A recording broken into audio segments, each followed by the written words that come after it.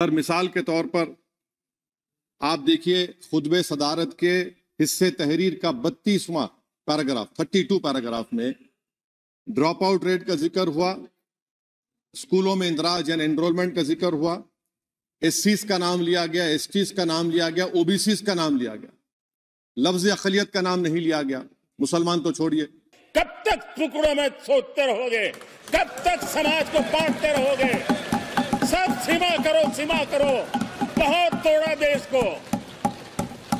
Sir, मिसाल के तौर पर आप देखिए, खुतब सदारत के हिस्से तहरीर का बत्तीसवां पैराग्राफ, थर्टी टू पैराग्राफ में ड्रॉप आउट रेट का ज़िक्र हुआ, स्कूलों में इंदराज यानी एनरोलमेंट का ज़िक्र हुआ एस का नाम लिया गया एस का नाम लिया गया ओबीसी का नाम लिया गया, लफ्ज अखलियत का नाम नहीं लिया गया।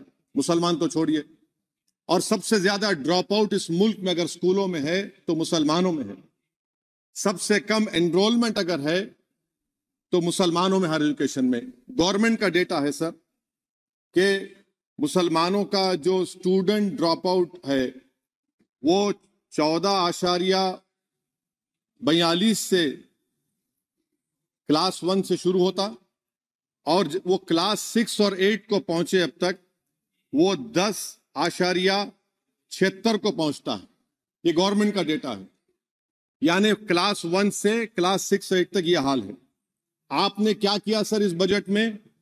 प्री प्री मैट्रिक स्कॉलरशिप को सिर्फ़ नाइन्थ क्लास तक महदूद कर दिया।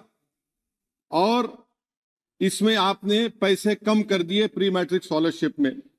और सर 2022-23 का बजट आप देखिए, पाँच हज़ार छब्बीस करोड़ रुपए दिए गए थे, जिसमें से सिर्फ़ छह सौ तिरसठ करोड़ इस्तेमाल हुए।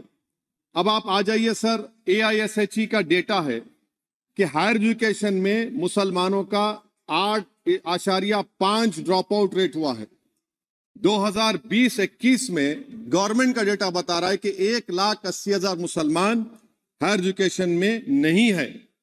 प्री मैट्रिक स्कॉलरशिप को आपने 423 करोड़ था, उसको आपने इस साल 326 कर दिया। मौन आज़ाद फेलोशिप को 45 करोड़ कर दिया। एमसीएम जो चौवालीस करोड़ था, तैतीस करोड़ कर दिया। बताइए, जो सबसे ज़्यादा जिसका कम्युनिटी का ड्रॉप आउट रेट है और जो हायर एजुकेशन नहीं, उससे आप ये बर्ताव करते हैं। हो सकता है आपके यहाँ फिशरमैन माइनॉरिटी के ना हो। हो सकता है आपके यहाँ पशुपालक माइनॉरिटी के ना हो। हो सकता है किसान आपके यहाँ माइनॉरिटी के ना हो हो सकता है महिलाएँ आपके यहाँ माइनॉरिटी में ना हो हो सकता है कि आपके यहाँ युवा में माइनॉरिटी क्या हो गया है दादा? क्या देश के युवा जी की बात होती है?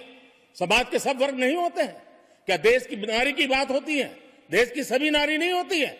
कब तक टुकड़ों में सोचते रहोगे? कब तक समाज को बांटते रहोगे? सब सीमा करो सीमा करो। बहुत तोड़ा देश को।